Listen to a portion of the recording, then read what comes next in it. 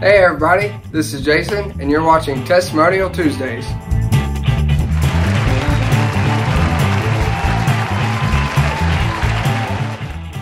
Shane, Cody, and the rest of the team were absolutely wonderful to work with. We dropped off our car to be fixed around noon and ended up leaving with a brand new 2019 Chevy Equinox. Our family is thrilled with our new purchase. Shane was extremely patient and explained everything in detail multiple times. Our two year old daughter was with us during the process, and everyone was very friendly and patient with her terrible two attitude. We had looked into car buying from a different dealership in Richmond, but we were not happy with their customer service. So I was so happy we decided to wait and join the team at the Chevy dealership.